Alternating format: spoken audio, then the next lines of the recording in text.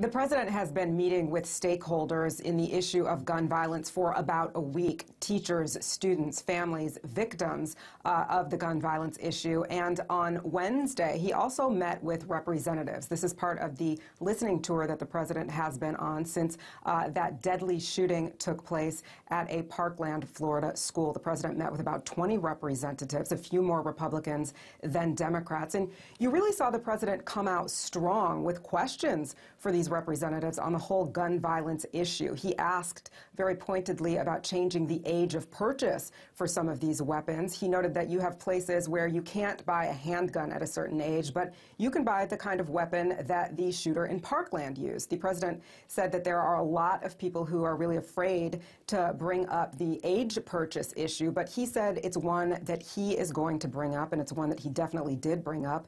He noted that the NRA does oppose uh, an age limit change when it comes to the purchase of weapons. But the president said that while he is a fan of the NRA, well, uh, their position on age limits just doesn't make any sense.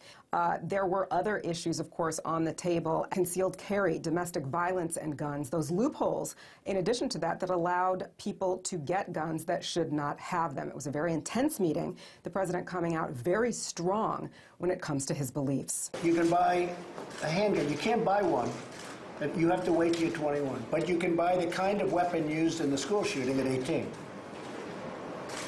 I think it's something you have to think about. I can say that the NRA is opposed to it. And I'm a fan of the NRA. I mean, there's no bigger fan. I, am a big fan of the NRA. They want to do it. These are great people. These are great patriots. They love our country.